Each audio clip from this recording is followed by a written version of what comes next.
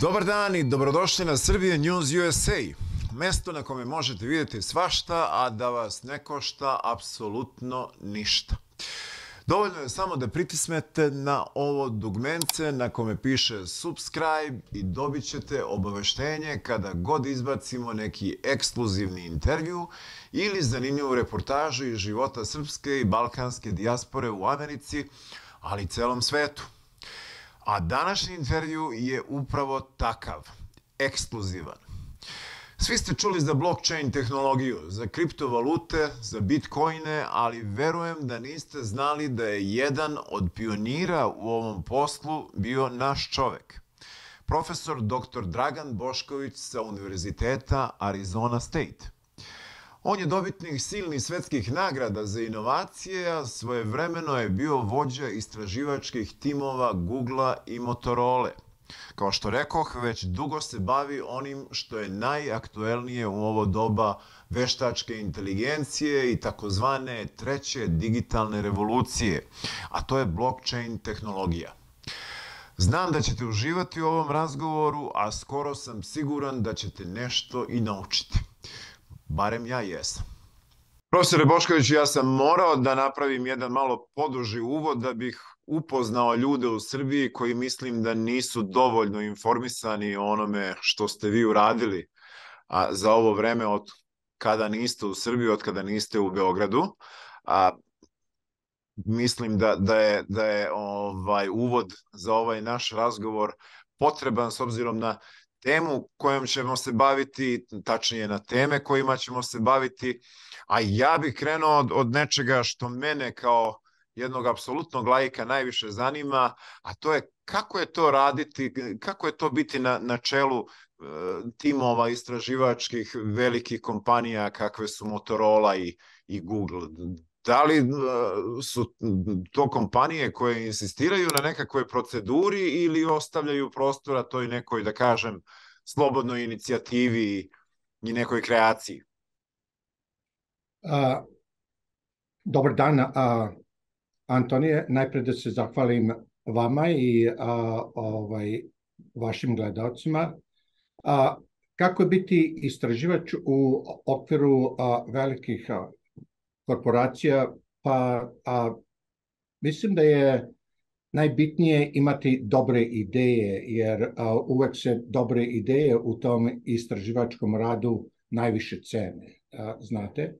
A, znači, imati imaginaciju. Ja, ja mislim da je to, da kažem, osnovni a, ili osnovni atribut da neko kao istraživač mora da ima, a to je da ima jako dobru imaginaciju i da u glavi može da zamisli probleme na kojima može da radi ili treba da radi, okay?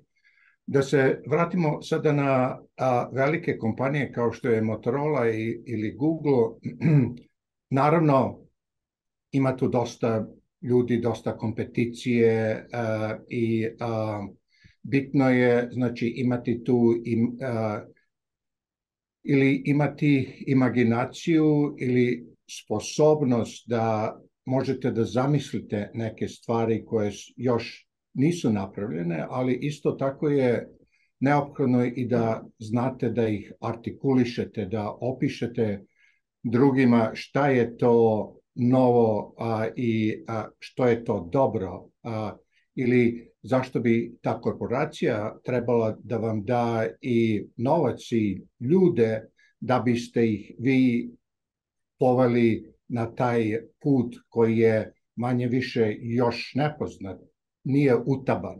A, tako da, ako bih a, hteo da skratim priču nekoliko rečenica, onda znači morate da budete neko ko može da zamisli stvari, da ima dobre ideje, da znate da artikulišete ili da prodate svoje ideje onima koji kontrolišu novac i ljude a, i onda sa malo sreće i iskustva dobijete i malo veći tim da vodite, tako da sve to... I malo veće novce, pretpostavljam, za istraživanje.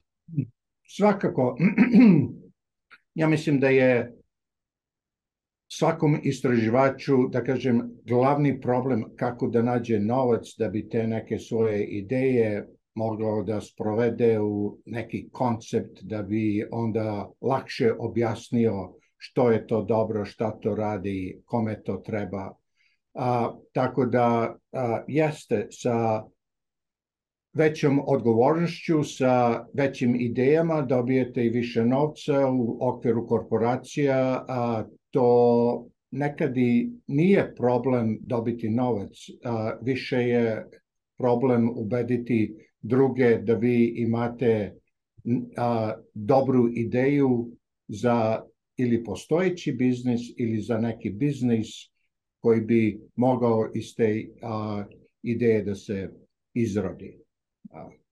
Koliko je vama bilo teško kada ste 90-ih otišli iz Srbije i počeli da radite za, za velike kompanije? Koliko vam je da kažem, osnova i, i koliko je ta baza koju ste na Univerzitetu u Beogradu pokupili bila, da kažem, dobra polazna tačka za, za ono što ste radili kasnije? Ja sam otišao 88. za Veliku Britaniju gde sam uh, upisao doktorat na univerzitetu u Batu, to je, da kažem, uh, jugozapadno blizu Bristola. A, nije bilo toliko teško što se tiče, da kažem, neke osnove ili osnovnog znanja. A, bilo je dosta tu nekog adaptiranja u smislu kada odete, to je novi jezik, novi način razmišljanja, a, isto problemi a, na kojima sam, na primjer, na univerzitetu radio, to su a, prilično a, dosta a, zahtevni u nekoj specijalnoj matematici koju, na primjer, nismo imali prilike, ili ja nisam imao prilike na elektrotehničkom fakultetu da a, s tim radim dosta, tako da jeste a, a, bilo je tu nekih izazova što se tiče, da kažem, a, te osnove, ali uz neki dodatni rad i želju da a, uspete, to je naravno a, a, opet glavni a, ingredient, što bi rekli a, ovde, znači morate da imate jaku želju da a, uspete, da biste stvarno uspeli, jer a, na tom putu Naravno, uvek ima raznih prepreka. Znači, dalje nešto a, novo što morate da naučite ili što bi mi rekli tamo da lupate glavu a, a, ili su to, da kažem, a, a, neki novi običaji na koje niste navikli u toj kulturi, način ophođenja a, i slično ali vremenom se nauči sve, tako da a, u principu opet... Šta je bio vaš najveći problem, izvinjavam se što vas prekidam, šta je bio vaš najveći problem kad ste, kad ste otišli iz Srbije?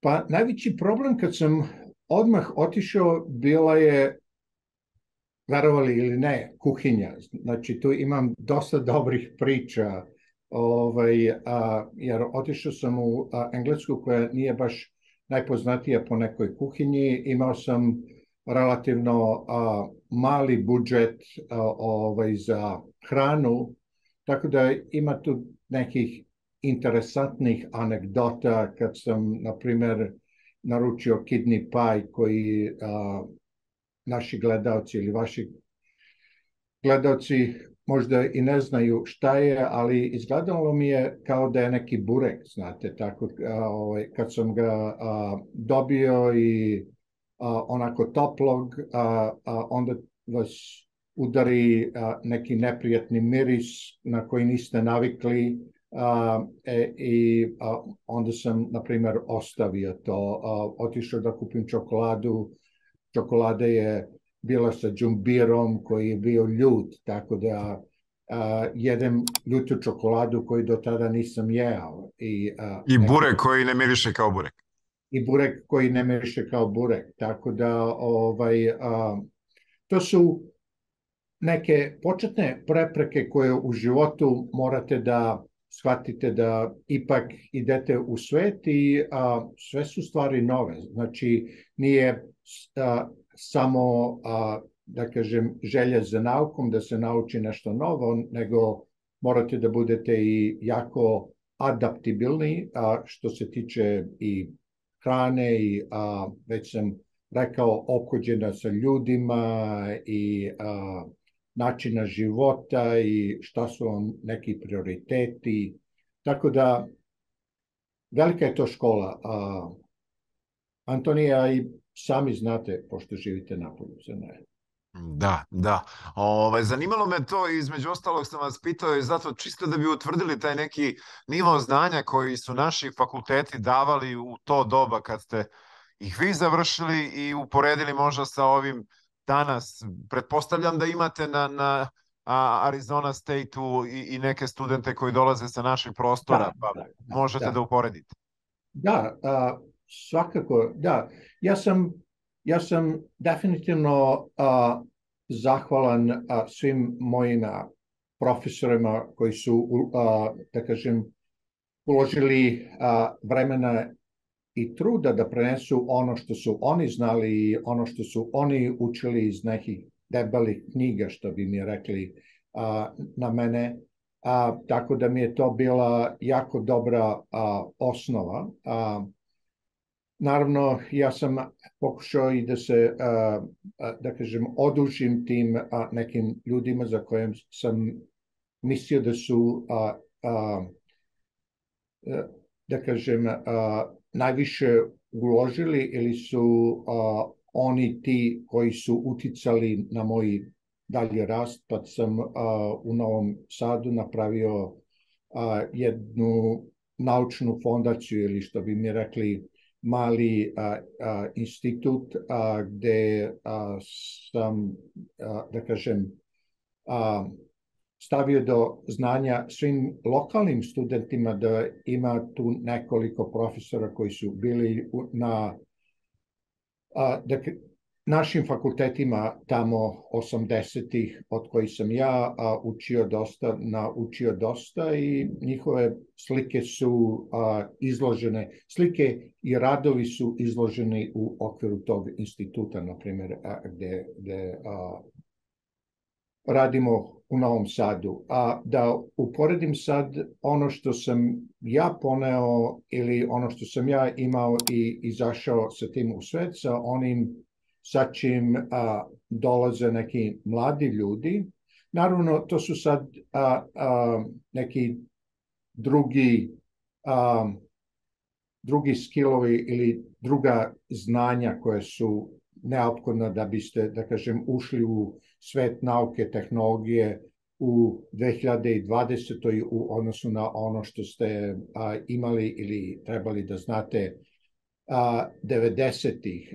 ali radim dosta sa oba univerziteta i u Novom Sadu i u Beogradu i dolaze mi ljudi koji ovde rade ili postdoktorske studije ili su već odradili tamo pa dolaze na specializaciju i ja sam zadovoljan nivom znanja koji donose, isto kao i, da kažem, nekim radnim navikama i kulturom koju a, nose sa sobom. Naravno, a, to su ljudi koji su mnogo više... A, a, koji su iznad proseka, jel da? Koji su, koji su iznad proseka, ali u isto vreme su imali prilike da a, upiju a, neke globalne um, kvalitete. Da kažem, imali su već prilike da rade sa istraživačima napolju sa drugim institucijama, tako da a, ovaj, kada dođu nisu a, um, da kažem, kako bi rekao, šokirani ili nisu a, ne adaptirani na ono što ih očekuje a, ovde. Tako da volim da radim sa mladim ljudima iz Srbije, um, ulažem u njih, um, oni vraćaju, a, tako da imamo dobru razmenu u tom kontekstu. Kao profesora želim da vas pitam nešto, koliko danas obrazovanje, ne govorimo o, o samo Srbiji, govorim generalno, prati inovacije, koliko prati tehnologije. Svedoci smo često čujemo da, da je neki, ajde da kažem, self-made klinac iz, iz nekog podruba ovaj, postao a, menadžer neke velike a, IT kompanije a, bez nekakve diplome. Koliko je danas bitno a, znati neke stvari, praktično ih primeniti, a koliko je a, ta neka teorijska podloga važna? Da, a, pa dobro, ima tu, a, da kažem, a, više klasa nauke. Znači, imamo neku a, aplikativnu nauku, a, nešto što je, a, što bi mogli da kažemo, nova primena već postojećih tehnologija ili već postojećeg znanja a, na a, neku novu aplikaciju, na neki novi problem ili što bi rekli ovde use case, ok?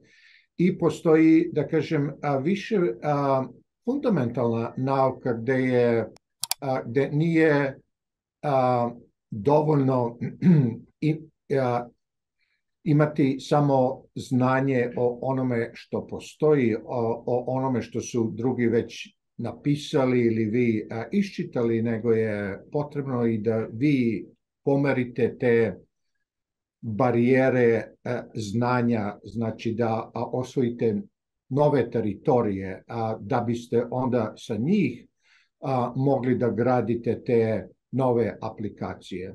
Znači, u, a, ako uzmemo sada tu a, podelu ili usvojimo, onda je da za ovu a, ili za ovaj aplikativni deo naravno a, ima tu dosta a, dobrih momaka koji ili devojaka koji su dosta iščitali, brzo misle, razumeju a, a, nekad i poslovnu stranu stvari što je jako bitno da biste na kraju a, uspeli. I naravno a, mogu da naprave a, da kažem dobar iskorak i da onda i da se ili proizvod. i da se dokažu i da vode timovi i da naprave novi proizvod i sve. A dok je za ovaj fundamentalni deo znači gde je e, gde vi morate da pomerate te granice poznatoga, a, tu već morate a, da imate i neko fundamentalno a, razumevanje a, nekih principa za tu granu a, a, kojom se bavite. A, morate ne samo da ste iščitali dosta stvari, nego mora i da ste eksperimentisali, probali, a, da vas a, neka misao ili ideja zaokuplja čak i dok spavate možda, ali a, tu je, da kažem, a, za to je neophodno imati to dobro fundamentalno znanje, a, dobru školu, dobru osnovu, a, dobru laboratoriju, a, dobre saradnike i naravno jako, jaku želju da saznate nešto novo. Šta je vaš... Bi... Kad da. pomenu ste malo pre to, to nespavanje i to, tu zaokupljenost jeli, materijom, šta je ono što je vas najviše motivisalo? Novac ili, ili otkrivanje nekih novih dotad neotkrivenih prostranstava? A, pa ja mislim da novac nije uvek, da kažem, primarni motivator u nauci, mada je jako bitan.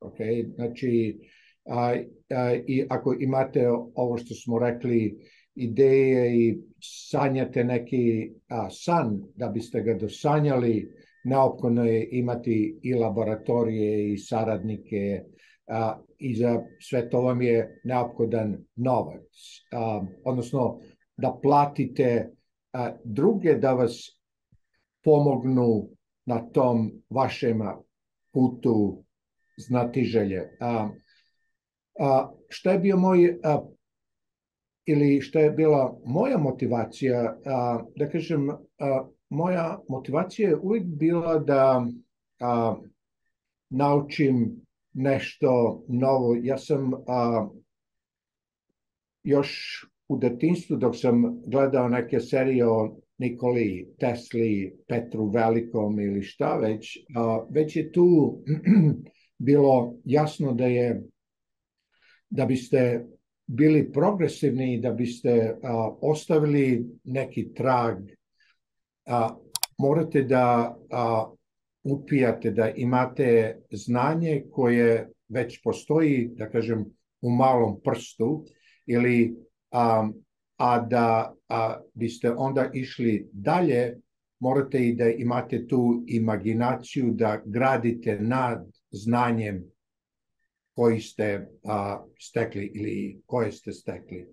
Tako da je moja, moja da, a, želja za a, uspehom, odnosno da znam a, nešto novo ili da budem na istom nivou kao što je a, i ostatak svetske nauke bio, da kažem, neki početak, a onda kad a, uđete u te neke vode, onda to više nije dovoljno, nego biste hteli i da napravite ime. Znači, a, da budete prepoznati u krugu ljudi koji se bave sličnim stvarima i da onda kada pričate o nekoj a, inovaciji ili o, o nekom radu, onda oni odmah mogu da vežu, da kažem, određenu metodu za vaše ime ili ako imate aplikaciju za neki naučni grant, da oni već znaju ko ste,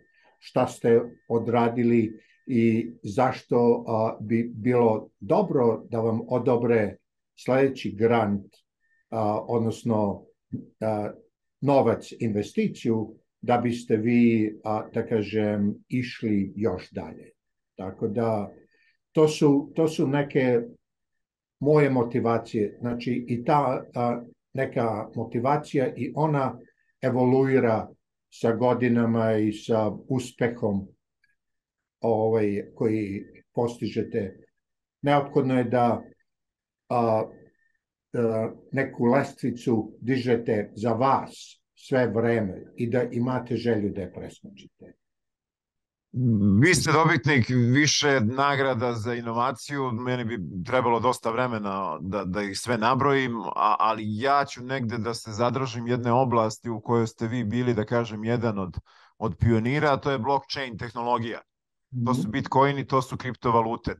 Kad ste počinjali time da se bavimo, bavite, a, a, i jeste uopšte očekivali da će to a, se rasplantati na ovaj način i da će doći do, do ovog nivoa?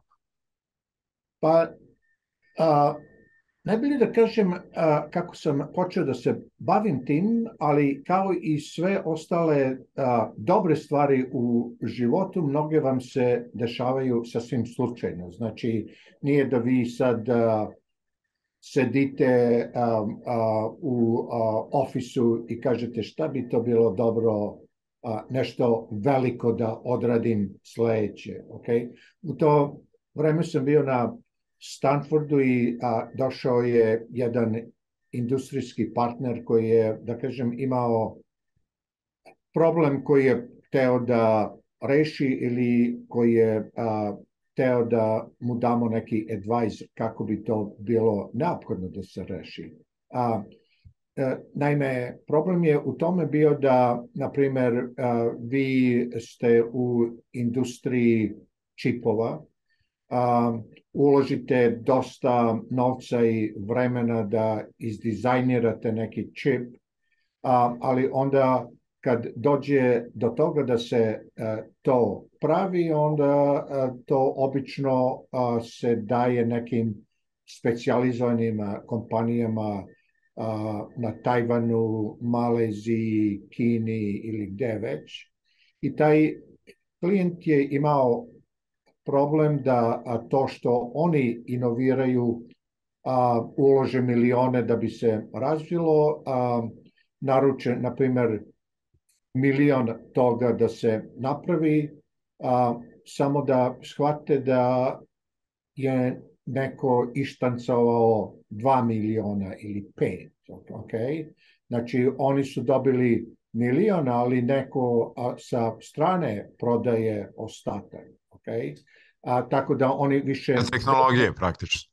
Da, oni više ne znaju šta je njihovo, a, šta je, da kažem, a, neko ko je e, to klonirao i prodaje kao svoje Tako da je njihova ideja je bila ili želja a, da li je moguće da a, a, mu mi kažemo kad neko dođe i a, hoće da a, ima ili neki tehnički support, podršku, da mi možemo da kažemo to je tvoj čep.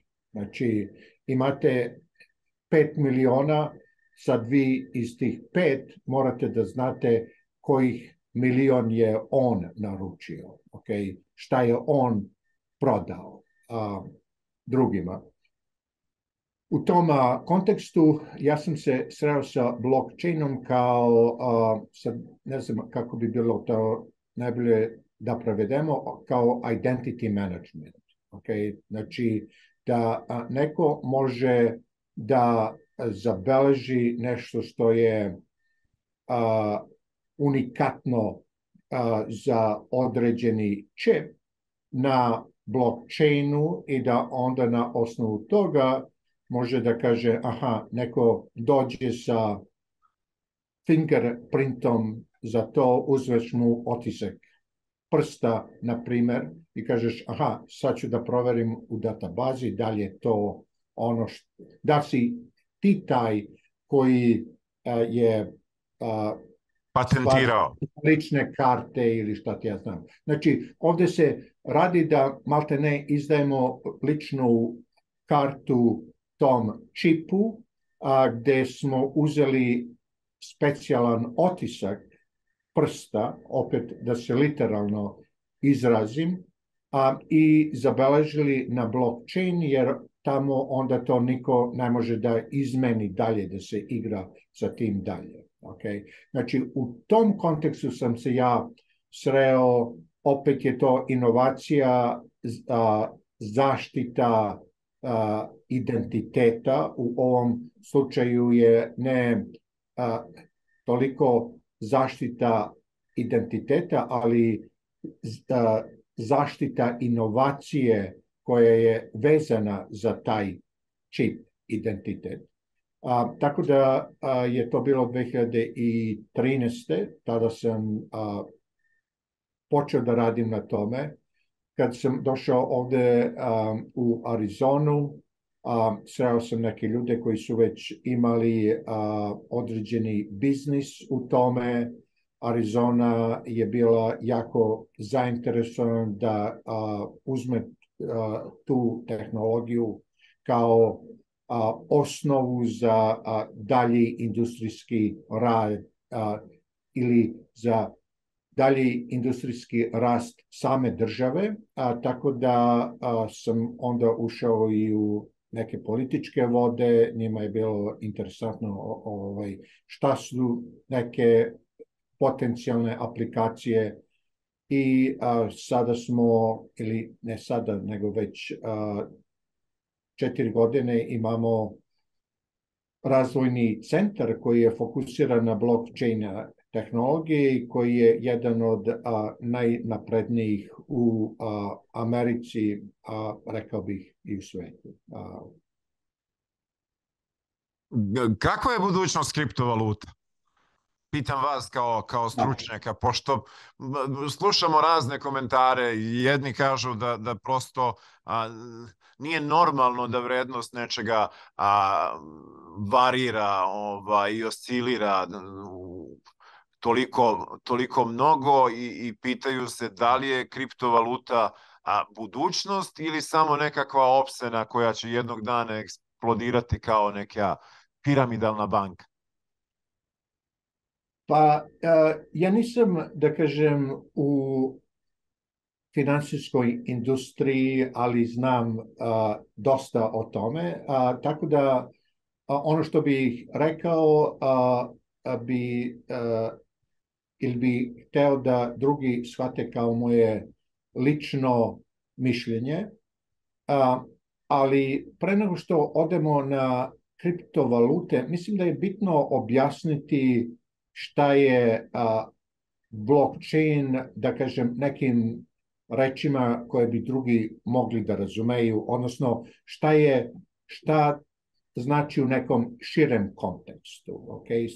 Ja obično kažem da je blockchain ili kako ga zovu Web 3.0, znači to je treći talas neke internetske revolucije. Okay? Onda da bi došli šta je to treći talas, mora da kažemo šta je prvi i šta je drugi, naravno. Okay? Znači, prvi je bio 90-ih tamo kad smo odjednom mogli da nađemo sve informacije na webu. Znači, to je bila velika revolucija zato što su mnoge izdavačke kuće odjednom uh, ostale bez klijenata, uh, uh, mi smo odjednom mogli da nađemo dosta tih informacija na internetu za koje si prethodno morao da ideš ili u biblioteku ili da pričaš sa nekim drugim ljudima. Znači, to je bilo sredinom 90-ih. Um, posle 10-15 godina smo imali na internetsku revoluciju, drugu internetsku revoluciju, to je sad, odjednom smo uspeli da napravimo to da bude interaktivno, ne samo da pretražujem, da kažem, neke sajtove i informacije, nego sad mogu i da gledam filmove i slušam muziku, mogu da editujem a, neke dokumente a, u isto vreme sa a, 20 ostalih ljudi, znači sve se beleži, imamo Facebook, imamo YouTube, odjednom smo mi u stvari postali izdavači a, tih nekih informacija. Okay? Znači, ono što ljudi mogu da shvate to je a, Facebook, zato što je skoro svi da ja znam su na fejsu, barem tamo. Okay. A, a, sad, šta je treća a, revolucija ili šta je a, taj veliki talas?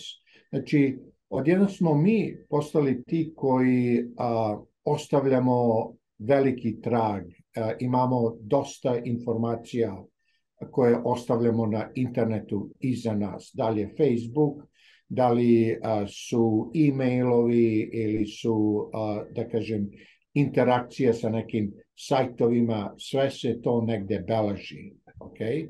A, a, a vi biste onda rekli, pa dobro, gde su te informacije? A, te informacije su negde a, sa Googleom ili sa Facebookom ili sa Netflixom, vi i a, ja ono što sam uobičavao da kažem, na primer, Google zna više o vama nego vi sami. Okay? A, a, radio sam i znam.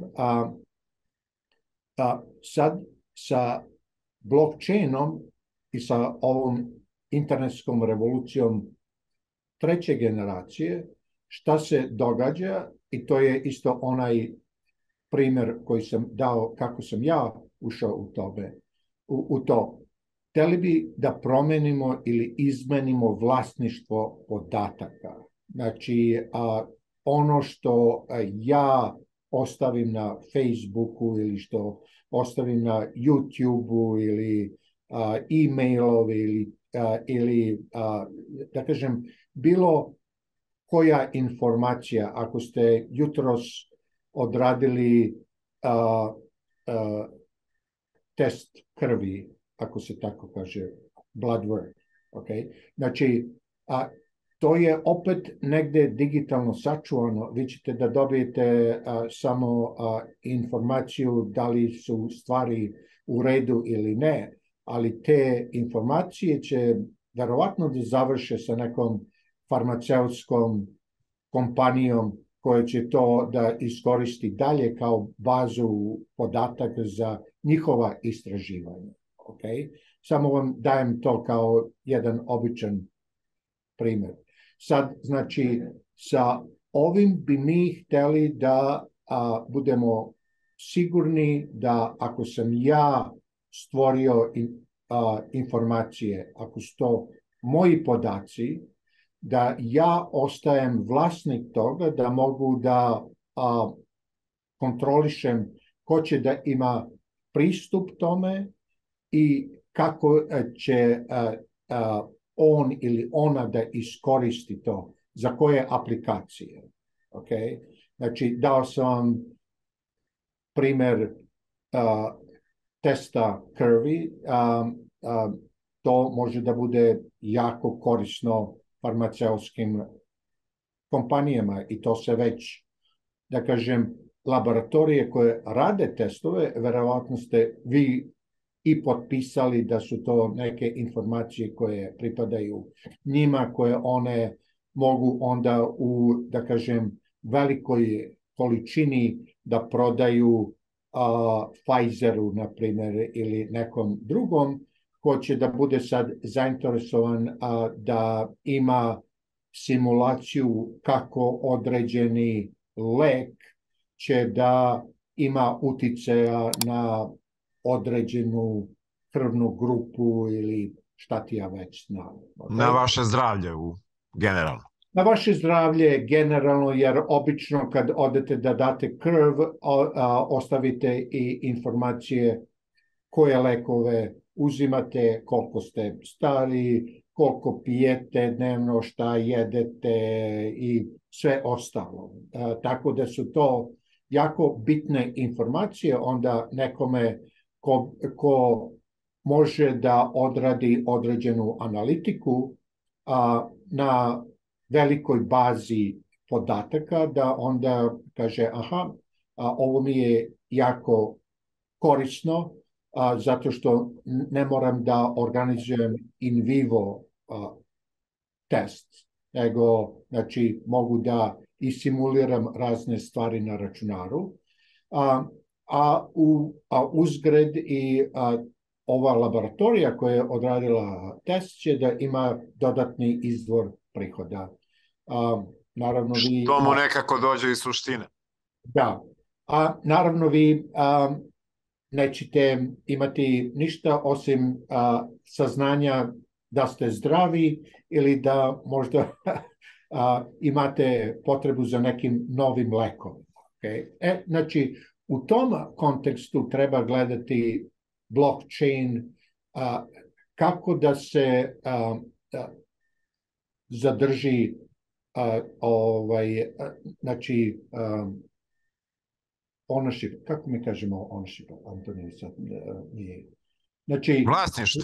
Vlasništvo. Znači, da imamo vlasništvo nad podacima koje ostavljamo ili mi generišemo. Znači, i ovaj a, a, test koji ste odradili u laboratoriji, to mogu i trebaju da budu vaši podaci, to su privatni podaci. Znači, laboratorija ne treba da ima pravo da može da otuđi to. Ova treća internetska revolucija, a, ona se zasniva na tome da a, mi hoćemo da zadržimo vlastištvo nad podacima koje mi generišemo. Znači, da li je to a, ono što ostavite na Facebooku, da li je to ono što ostavite dok ste gledali šta da kupite na Amazonu ili je ono što ste dobili iz laboratorije za testiranje krvi, na primer, to su sve vaši podaci. Koliko je to moguće? Jer velike kompanije vas praktično ucenjuju da, da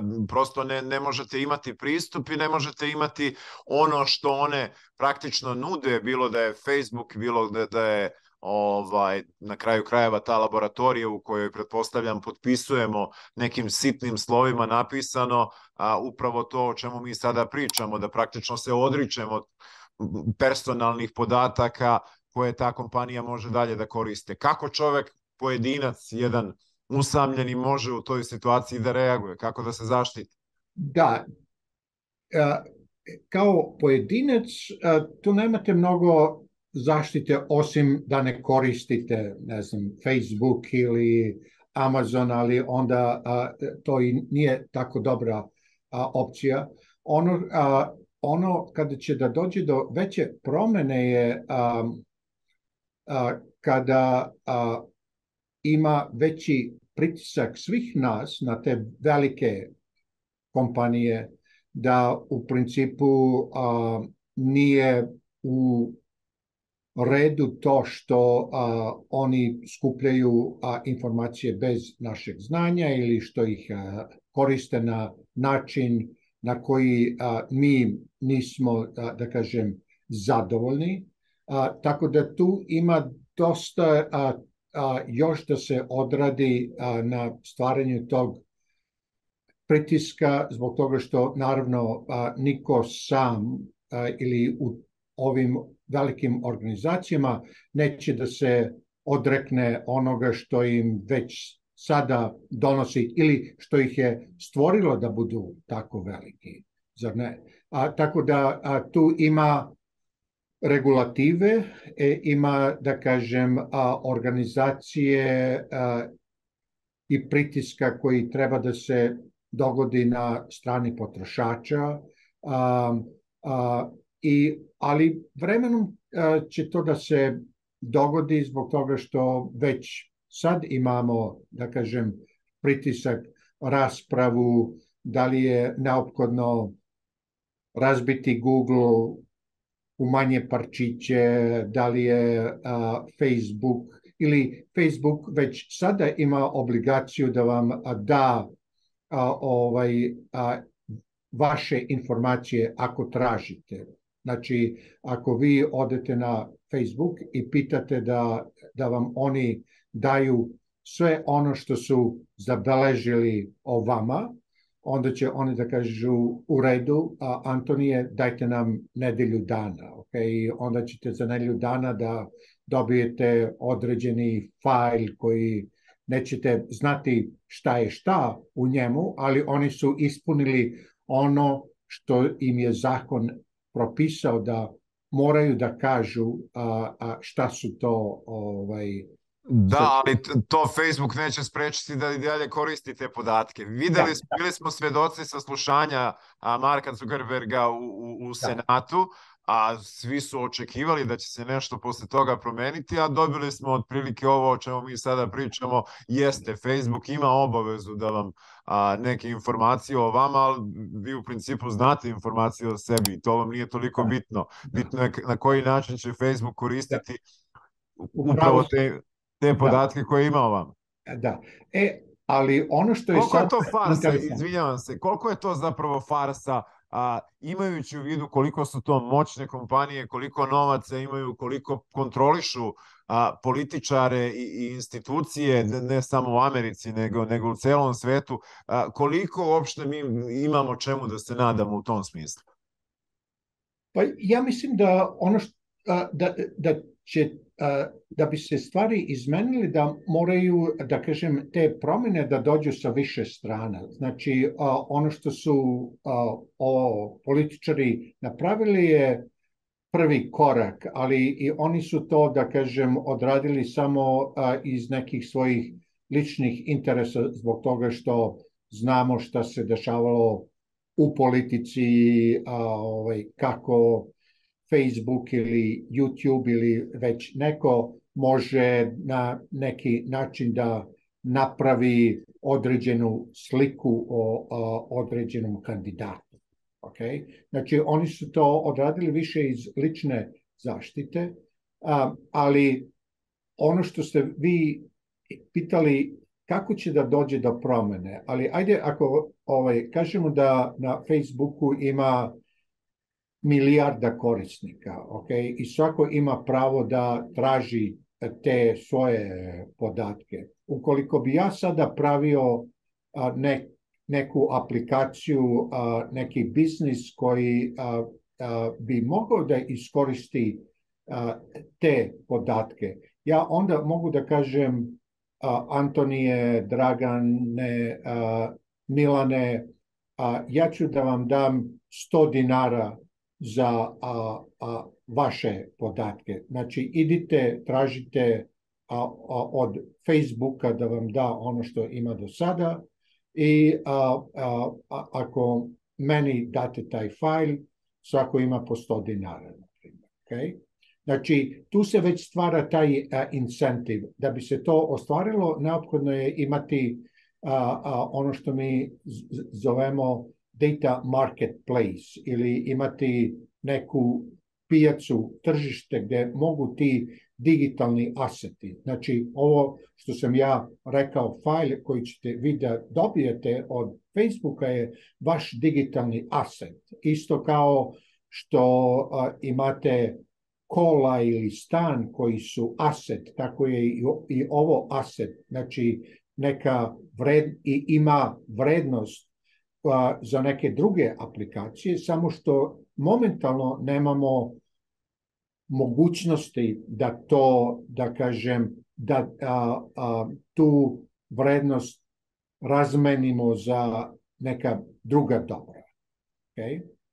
Znači, Ali Podrazumeva se da će ta neka kompanija koja bi da iskoristi te vaše podatke, bilo da je to farmaceutska kompanija ili kompanija koja hoće da vam proda kompjuter ili koja hoće da vam proda neku opremu za kampovanje, a će te podatke jeftinije dobiti na, na gomili onako što se kaže džuture negde na Facebooku i Facebook ima, a, pretpostavljam, u, u svom timu ljude koji su specijalizovani i koji se bave takvim stvarima, nego što će neko tražiti a, pojedinačno Antonija Kovačevića ili Dragana Boškovića da im on lično te podatke proda. Da se, da.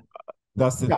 dogovorimo oko toga koliko to košta, kad to na ovaj veliku količinu, pretpostavljam, košta košta jeftinije, a i lakše je napraviti deal sa jednom kompanijom nego a, sa milion ljudi.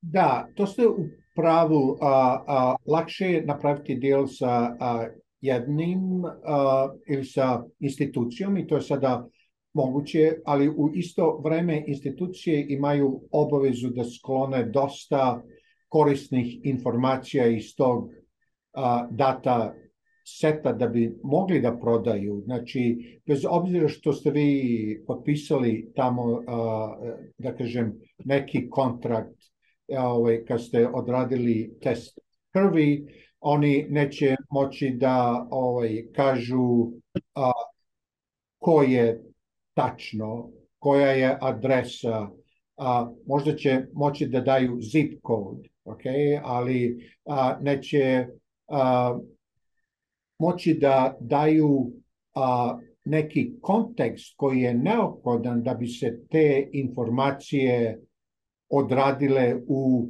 veće detalje ili analizirale u veće detalje. Tako da u principu ja sada, na primjer, ovo što sam pričao za test krvi, radim sa kompanijom iz San Diego koja, a, znate, ovde se sada ili je dosta popularno da odradite genetički test da biste vidjeli da li ste 100% Balkanac ili ste 80% Balkanac, 20% a, nešto drugo. Znači, te kompanije, one će da vam odrede taj test za 50 dolara, 100 dolara. Okay? A, njih će to verovatno da košta a, ili malo više ili na vama neće da zarade a, nikakve pare, a, zato što je to još relativno skupo da se instaliraju te laboratorije, da se odrade testovi i slično, gde one zarađuju novac je ovo što sam rekao, znači oni će taj genetički materijal ili vaš footprint da prodaju a, nekim farmaceutskim kompanijama koje će onda moći kroz simulaciju da utvrde koji će biti ovaj impact veze. ili, ili kako će određeni lek da uticati na... da, da, ovaj, kako će da deluje na određenu klasu ljudi, jer i na osnovu neke e, stvarno genetike mi možemo da se izdelimo u neke klase. Okay? Znači, neko ko je a, ima veće šanse da bude šećeraš ili neko ko ima veće šanse da ima artritis ili neko ko ima veće šanse da ostane bez kose kao vi i ja ili slično, ok?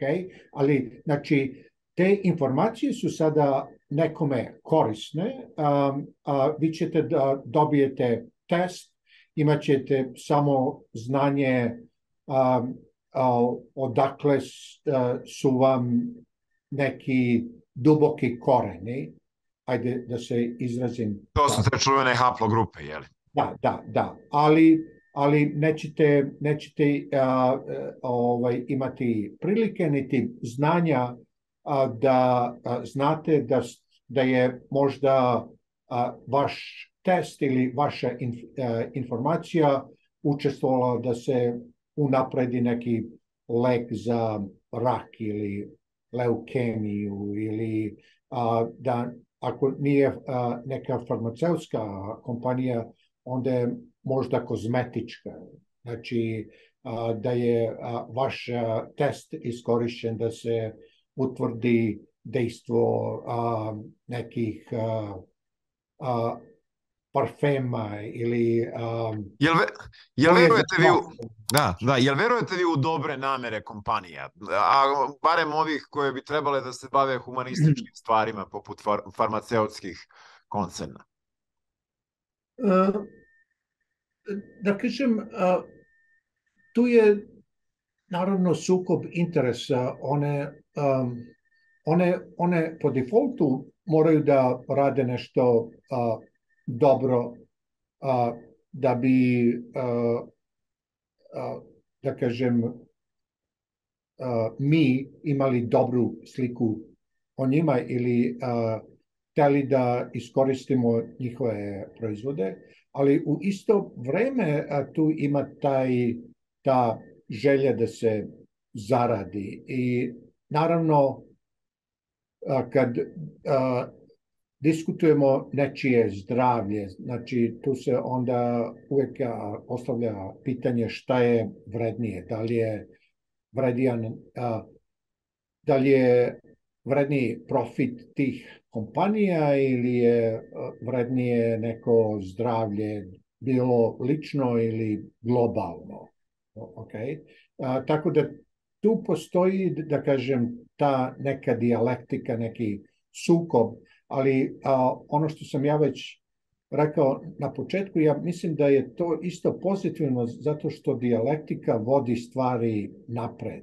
Znači, mora da postoji taj sukob. Uko, a, ukoliko nemate sukoba, a, odnosno želju da uspete, da li je, a, a, da li je ta želja da zaradite više novca ili da imate lek koji niko drugi nema, a, ja mislim da su obe važne, jer bez a, obe te želje i njihovog sukoba i nekog pritiska koji će da dođe a, i iznutra i spolja zbog te dijalektike, ne biste ni išli napred. Znači, imali biste a, neki proizvod, niko ne bi, a, da kažem, imao želju da inovira. I to se desi mnogima kompanijama. Znači, mnoge kompanije na kraju i propadnu zbog toga što a, a, su ušle u neku dijalektiku koja nije toliko jaka i a, a, a ukoliko bi hteli da naprave neke promene, one su toliko bolne da čak i ne žele da slušaju o tim promenama, znate. Znači, ignorišu realnost neko vreme dok ne dođe sudnji čas pa a, ostanu bez kredita ili šta već. Tako da... Ovaj, Pada mi na pamet Nokia, ne znam kako vama. Pa, tu imamo i Nokia, imamo i Motorola, imamo mnoge druge kompanije. Znači, a, jest, jeste da su one bile šampioni nekih inovacija, okay? i jeste da, da, da su u određenom momentu ili u određenom vremenu bile lokomotive progresa, ali onda odjednom kad se osjetite da ste snažni, da, da imate jak uticaj ili da svi gledaju u vas, onda možda i izgubite orijentaciju i ne gledate šta, šta je ono sledeće što dolazi. Da, ili neki drugi trendovi. One interno će imati ideju šta bi one htele da budu ti sledeći proizvodi, ali širi trendovi, znači, a, će da imaju drugu ideju i te dve ideje nisu kompatibilne. Znači, vi ćete da uložite vreme i novac da razvijate nešto što mislite a, a, da je sledeće, a mislite da je sledeće jer a, bi vama odgovaralo da to bude sledeće. Okay? a, a, a to uvek... A, a, ne bude tako. Je, nije baš tako, da. Niste mi odgovorili za kriptovalute. Da li verujete da, u kriptovalute? Da, da, da. da, da. Kriptovalute a, su a, a, ovde da ostanu. Znači, a, a, neće, neće da nestanu. Okay? A, a, zašto imamo a, a, ovaj brzi rast ili pad? Zato što imamo, a, zbog toga što je taj market još uvek relativno mali. Okay? A, znači, vrednost svih kriptovaluta je manja nego vrednost Amazona ili uh, Apple.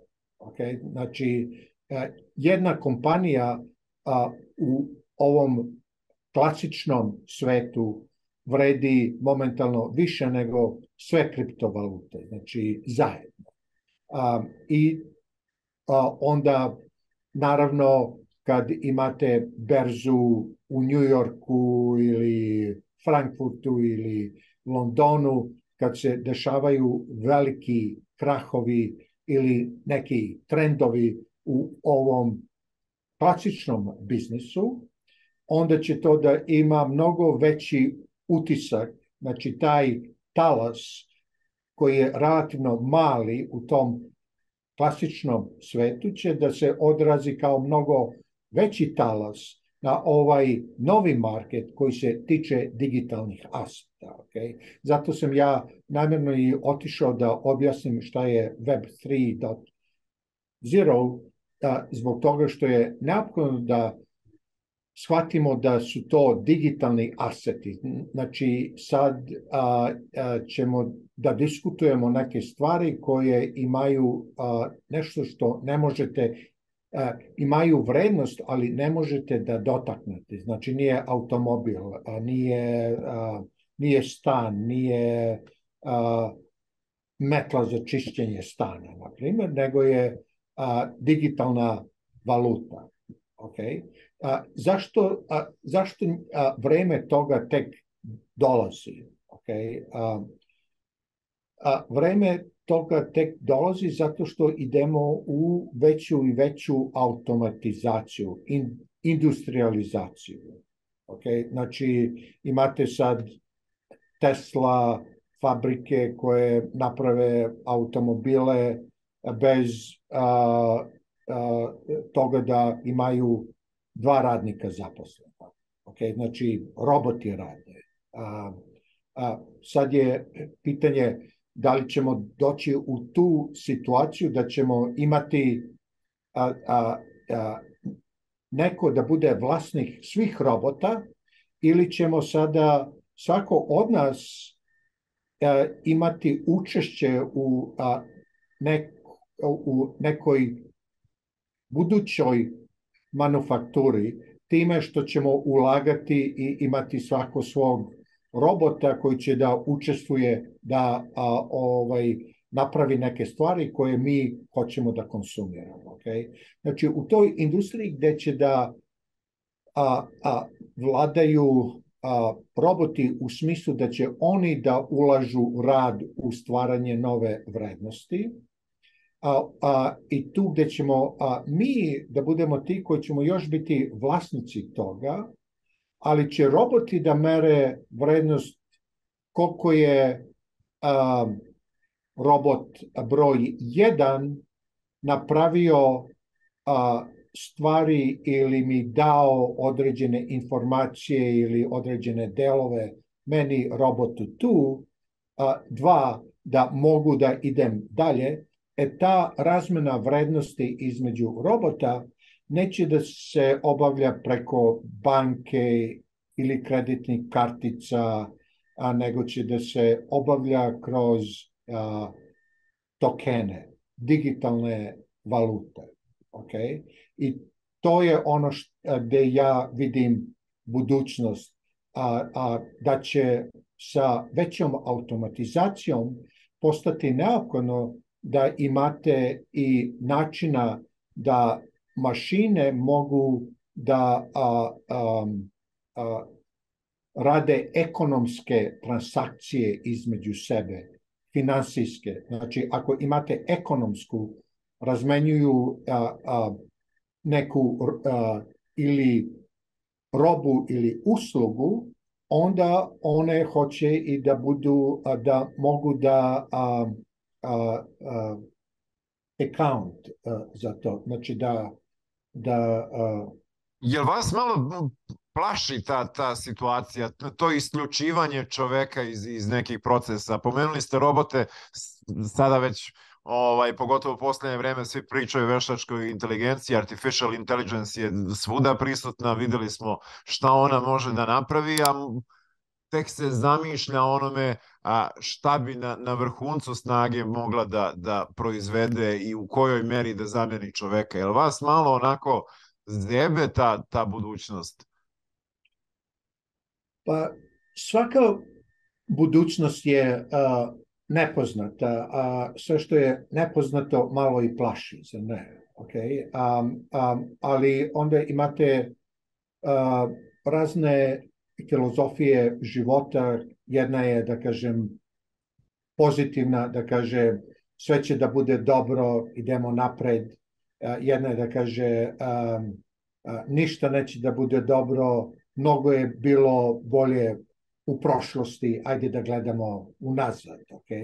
Ja više pripadam ovoj prvoj, gde, gde verujem ljudima i našim umovima da ćemo znati da organizujemo stvari na takav način da ta budućnost bude dobra.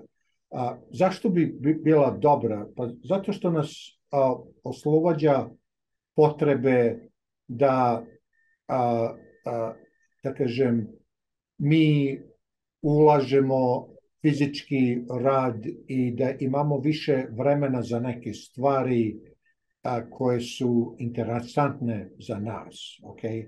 Da bi se to stvarno stvorilo, odnosno omogućilo, mora znači da se menja i a, neki a, socijalno-ekonomski fabrik koji će da podrži to. Znači nije, ne bi trebalo da se zasniva na tome a, a, da vidimo ko koliko može da ugrabi više, nego bi morali a, da imamo i neke norme a, šta je to minimalno neophodno za nekog da mu da više a, vremena i a, sredstava da uživa u životu.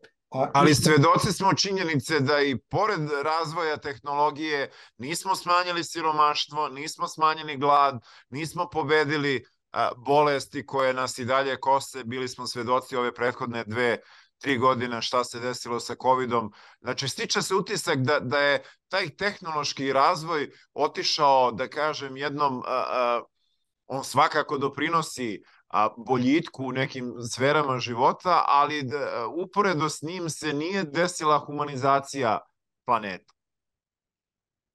E, da, ja mislim da se, da se uh, otprilike svi slažemo u tome da uh, ono što imamo sada je više uh, zasnovano na onome što smo imali i ranije. Znači, uh, uh, imamo tu neku dijalektiku uh, gde se uh, tehnološki progres bori uh, sa uh, uh, da kažem nekim uh, normama koje se više tiču toga a šta je šta je fair, a šta nije fair. Znači, um, um, da li ćemo, da, da li ćemo uspeti da otklonimo to, a, a, to stvarno zavisi od nas. A, a, a, opet je lakše reći nego uraditi, ali bi dao, da kažem, svoje mišljenje. Znači, jeste da a, imamo neke, da da imamo inequality, znači oni koji su bili bogati ili koji su uložili ili imali šta da ulože u taj tehnološki progres, oni i ubiraju više. Okay? A, tako da je taj neki a, jaz između onih koji imaju i oni koji žive od plate do plate a, postao veći. A, sad, a, koji je najbolji način da se premosti to, a to je sad već mnogo veće pitanje i nije tehnološko, nego je ovo što sam rekao više socijalno-ekonomsko, ali u principu a, ja sam vam dao neke vektore šta te nove tehnologije, one iskorišćavaju u nekom smislu sve nas, ok? A, a, da bi a, oni koji su imali sreće ili da budu pioniri u tome ili su bili ili su imali materijalna sredstva da ulože u to u nekoj ranoj fazi, onda oni i ubiraju a, jako a,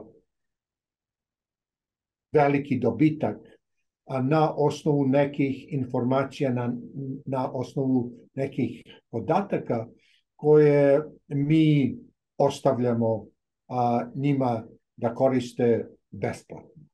A svedoci smo toga koliko te velike kompanije upravljaju a, društvima, koliko upravljaju planetom, koliko upravljaju političarima, znači ljudima koji su negde izabrani da zastupaju a, interese običnih ljudi, ali se obično to svodi na zastupanje interesa velikih kompanija.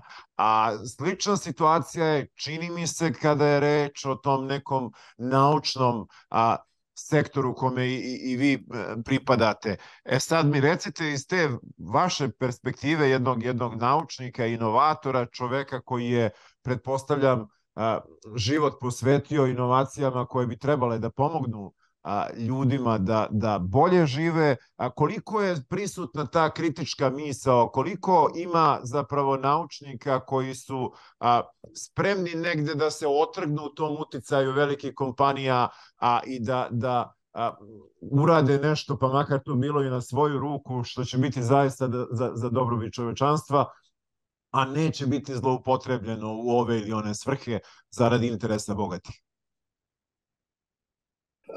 Pa, dolazimo do neke uh, etike. znači um, a, a, i a, etike inovacija i etike novih tehnologija. Ako bi, ako bi hteli da vežemo a, progres koji donosi tehnologija za, nek, za a, neki širi dobrobit ljudi, a tu onda nije dovoljna samo tehnologija. Znači, tehnologija um, ili uh, ide, ide nekim, ide nek, nekim svojim putem, ima, ima tu neku dijalektiku a, a, profita, odnosno novca i novih znanja, a, a etika a, mora da dođe a, a, iz nekih većih, širih rasprava. A, znači, da li je to na a, nekom a, državnom nivou, koje su to institucije koje mogu da promene te stvari. Okay? To je sad veliko pitanje, Antonije. Nisam, nisam siguran da mi imamo forume i institucije da će takve stvari da se diskutuju. Naprimer, um, ja, ja, ja u ovom svojstvu neko ko radi a, inovaciju u okviru blockchaina, imam prilike da pričam ili učestvujem na konferencijama koje nisu organizovane od strane, da kažem, naučnika ili a, više su organizovane od strane ljudi koji bi hteli da promene svet i vide, vide a, priliku da ukoliko imamo, da kažem, a, blockchain tehnologiju koja sama po sebi otklanja potrebu da imamo neko treće lice kome treba svi da verujemo, nego a, imate a, neku platformu za raspravu koja je mnogo a, ravnija nego piramida. A, ovaj, a, onda a, slušam ljude koji kažu a, da bi mi, da bi svako ko, a, ili da svaka nova vrednost koja se a, stvara od strane mašina, robota, da bi a, to moralo da a, ide dotle da svako od a, ima zagarantovani prihod, bez obzira da li ste a, zaposleni, da li radite, da li ne radite. Ta nova vrednost koju bi stvarali roboti ili usluge koje se zasnivaju na mašinama, a, da bi, a, da bi a, to... Da bi trebalo da se preraspodeli, jel da? Da bi, da bi morali da imamo, da, da, da kažem, a, a, neku osnovu da će ta dobit ili deo toga, veći deo toga, da se raspodeli na takav način da vas onda oslobodi potrebe da vi razmišljate da ću da preživim do sledeće plate i da imate i vremena i sredstava da uložite u nešto što vas interesuje. Da li je obrazovanje, da li je putovanje, ali u isto vreme, znači, treba to odraditi a, sa merom, jer opet a, ima a, ljudi koji će verovatno čekati stalno da dobiju više i više, a, ne ulagati ono što su već dobili. Tako da, mislim, postoji tu dosta tih vektora koje je neophodno razmatrati, ali stvar je jako kompleksna. Ja sam u suštini a, pozitivan a, što se tiče budućnosti. Ja mislim da, a, da, da kažem, i nove inovacije i nove usluge, a, dalje AI, će nas osloboditi potrebe za, za, za nekim a, radom koji možemo da damo mašinama da rade. Okay? Ali u isto vreme treba naći načina da ta vrednost koja je stvorena od strane mašina, da ona bude a, a, lepo raspoređena ili, da, da kažem, pošteno raspoređena a, kroz a, ostale slojeve društva, da ne bi a, imali taj veliki jaz između onih koji imaju i onih koji su... Koji nemaju ništa. koji su ostali, da kažem, na nekom slepom pa, Moram da kažem da je civilizacija i čovečanstvo dosta domanulo u ovoj ideji da ta preraspodela bude poštena ili da barem svi imaju priliku da zarade za, za život. Nadajmo se da će tako biti u budućnosti. A recite mi za kraj, na čemu trenutno radite i kakvu inovaciju možemo očekivati u skorije vreme od vas? A, da, a, ovo što smo pričali za, a, da kažem, neki a, marketplace gde bi svako mogao da iznese neke svoje digitalne asete i da ima određenu cenu za to i da ima kontrolu nad njima ko može da ima pristupi i kako ti digitalni aseti mogu da se koriste uz, uz isto, a u isto vreme da budete sigurni da neko ne može da to e, iskopira ili ukrade da se izrazim ovako banalno, a, to su neke stvari na kojima momentalno radim. I tu imamo i dosta dobru inicijativu ili učešće i same države Arizone, ali i nekih industrijskih partnera koji imaju interesa u to, da pomenem samo Intel ili neke farmaceutske kompanije ili, ne, ili neke bolnice. Znači, nije, očigledno je da imamo ili imamo dobru osnovu da napravimo i da raspravljamo na koji je način najbolje dizajnirati i koje su pravila igre dobra za određenu tehnologiju. U ovom slučaju je e, taj marketplace za, e, za digitalne asete, ali u isto vreme kad dođe do onda a, a, aplikacije u okviru samih institucija, tu već onda a, niko od nas nema private, uh, ili veliku kontrolu, to je ostavljeno onima koji su u, ili uložili ili platili da radimo na ovakvim inovacijama. Okay? Ono što smo mi diskutovali prethodno, ja se nadam da svi imaju ili da većina ima dobre namere. Okay? I to je, to je ono što sve nas treba da vodi napred. Znači, u svima nama ima mnogo više dobrog nego zlog, ali postoji ta dijalektika i, i ona nas u isto vreme vodi napred. Nemoguće je iskoreniti, ali sve dok imamo tu silu koja je više dobra i koja nas gura, da radimo dobre stvari, da li je to, da li ćemo da pomognemo nekom studentu ili ćemo da informišemo vaše gledaoce, čitaoce da bi naučili nešto više e, ili znali nešto više da se orijentišu u novom svetu, to su onda dobre sile. Ja sam, da kažem, optimista, bio i ostao.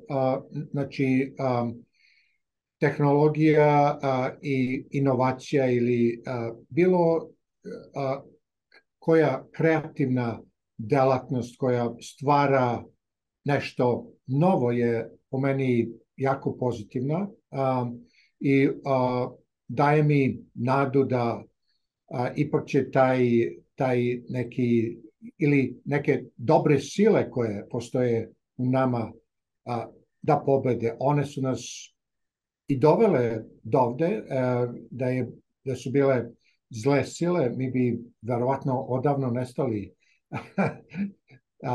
sa planete. A, ali naći pravi balans i u okviru nauke i naći tu neku etičku platformu koja se ne tiče samo toga da li su podaci privatni ili ne, nego i neko, neke ekonomske dobiti koja bi oslobodila većinu ljudi da